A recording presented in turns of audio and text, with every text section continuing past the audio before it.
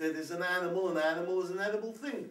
So since it's, it's an edible thing, so then the Torah, of course, directs us that you have to have a thing that is minamut reficha, which means to say that if you want, the, if the Torah point, points out minamut reficha, that means to say, in other words, that it is a thing that is a, has a quality, a special quality, top quality, minamut reficha, it's a kosher thing. Where is a shaykh to say minamut reficha by a kosher thing?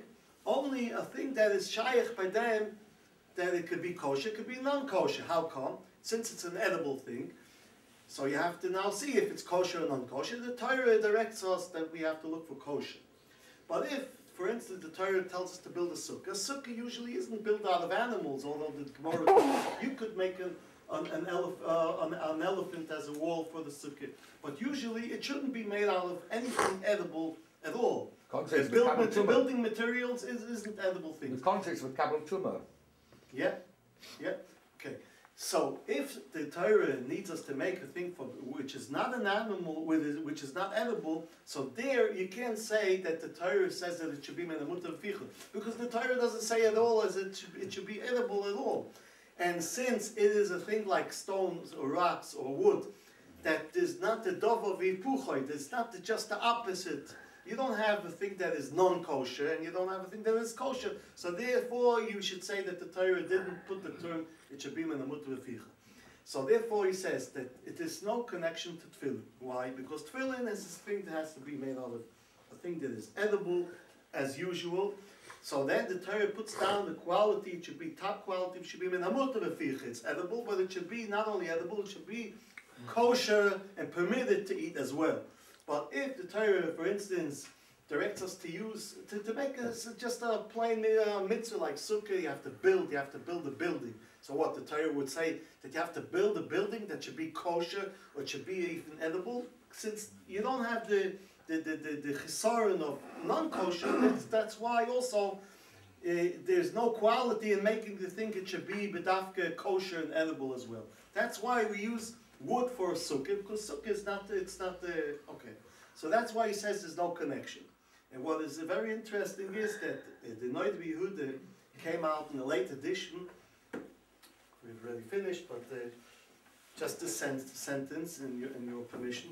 The Noid uh, brings down uh, uh, came out in a new edition, and and the side he brings in a goet b'ksav yad. That means that the publishers gave out a, a new edition of the Noid which the son of the Noid Yehuda writes b'ksav yad.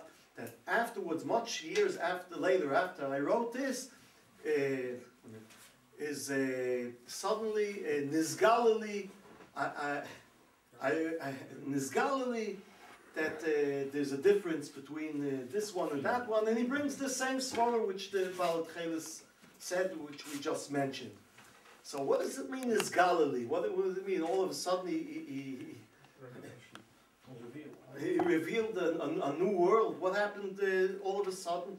He doesn't say that he, he thought about it and, and he was at Mechadish in his Galilee. So in the, uh, there's a sefer that came out in the time of the Yehuda, and and uh, in, in this sefer he, he says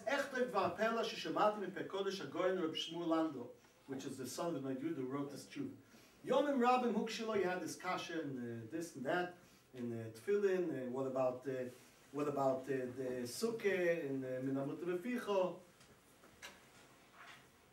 Yes? So he, so he says, so, so, so, so he says that all of a sudden in the later years, uh, his father, uh, the Noid Yehuda, uh, came to Cholim.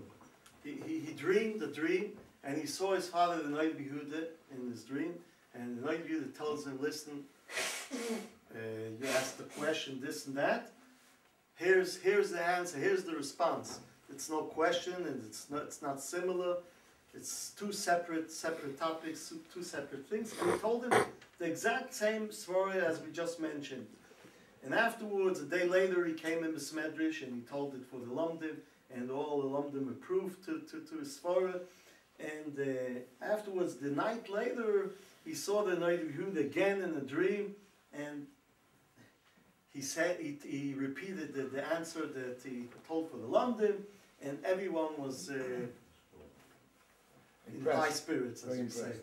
Okay, so this is this is for this. It just it, uh, I would just mention that uh, uh, this question of Minamut Beficha is handled as well in the Shailas Shuvas Chasam Soifer.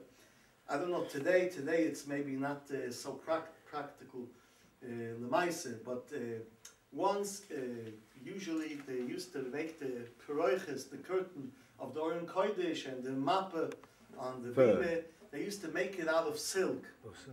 So the, the, the Chassam the Chassam Sofer, he asks that he can't understand how, how come we make it out of silk. There's an interessante, what's it called, uh, interessante Rabbeinu Bechaye, that the Rabbeinu Bechaye says in Parshas Truma, that it says, uh, V'yikoli Truma, Tchele Ezra Gomer, V'tela Shoni, V'sheish Moser, all the type of thing that you bring for this. So he says, Loi matzinu meshi menindas hamishkan. Silk, silk is a very expensive material. It should have been uh, represent, re- represented in the Melech Samishka. We find all the expensive, uh, important materials as gold and uh, whatever. Tcheles, and tilashoni. Why isn't silk pre- uh, presented here? Since it comes out of the creature of the silkworm, shemayim. Just like the Gemara says in Tachash, the Gemara says that Tachash sheboy mei Moshe Rabbeinu, if it was Torah, it was lech shemayim and etc. So he asks, how come we use the, the, the silk for, for, for the Bismetrish to make it to make a paroichis and whatever. Today I, I think in most of the places don't use it. Okay. So he has a ganze Riches, so we were not able Oh, Talah Shoni, you're asking very, very uh, wonderful question.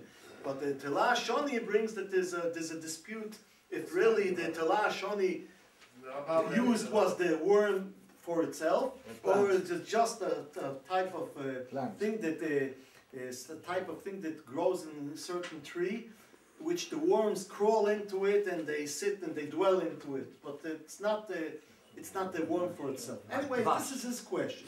Like that. No, silk is also the same. Silk is also the same. Okay, what? Silk is also the same. It's, sp- it's really dvash. It's produced through the worm. Okay, you're saying gewaltige Sache. You're saying mekaben to, to, to be mekaben a chelik of what the Chassam Sofer by itself says. And Two opinions in says, Kulin about that. Two opinions. First of in all, he wants to say that there's a chelik between Tashmisha Kedusha and Tashmisha Mitzvah.